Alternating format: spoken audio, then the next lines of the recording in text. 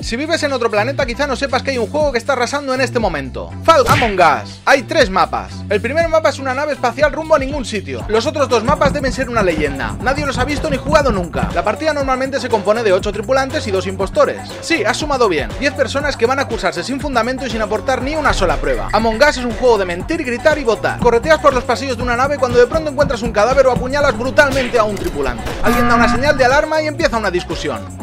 He encontrado un cadáver. ¿Dónde? Necesito pruebas. No tengo pruebas, pero he visto al rojo matando al rosa. Es mentira, yo estaba con el amarillo. Es verdad, estaba conmigo. No os lo creáis, he visto al rojo con movimientos sospechosos. Además es un comunista. Yo no confío en el negro. No es racista, solo es un disfraz y todas las personas merecemos el mismo respeto. A mí el rojo me ha violado. No me votéis, yo no he hecho nada. El azul solo me acusa porque es un fascista. Además, ¿cómo voy a violarte si vamos vestidos con condones gigantes de colores? Yo no soy fascista. Tú y tus peligrosos ideales queréis quitarme mi patrimonio. Eso es porque no es justo que tengas cuatro empresas y 18 propiedades mientras la gente se muere de hambre.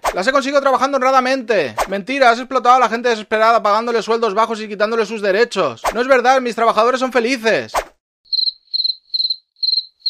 Em, es, mejor que no, que no votemos a nadie porque, porque no hay suficientes pruebas, chicos. ¿Cómo que chicos? Yo soy una chica, me estás excluyendo y me siento discriminada. Votar al verde. Solo estoy usando lenguaje genérico, no era mi intención herir tus sentimientos. Soy buena persona, lo juro.